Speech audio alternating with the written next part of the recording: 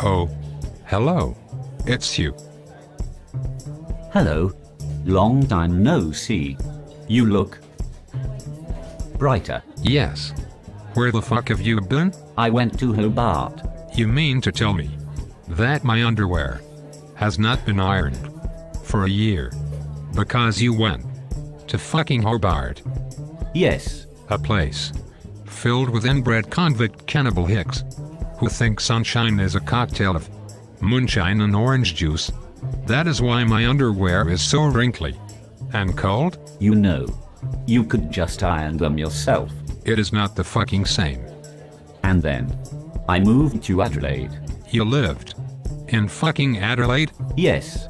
Until the incident. What incident? I may have called Cooper's a hipster beer.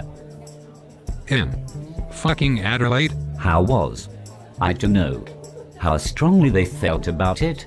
And anyway, what kind of urban population still has such a large supply of pitchforks at hand?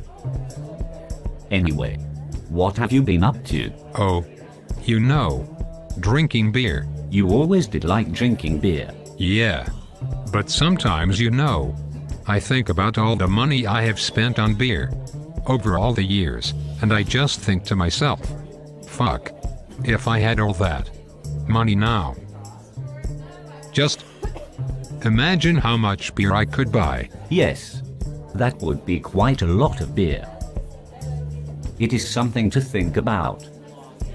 I wrote you a poem. What?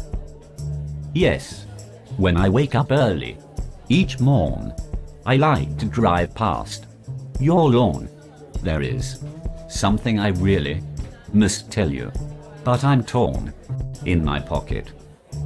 For you, there is corn.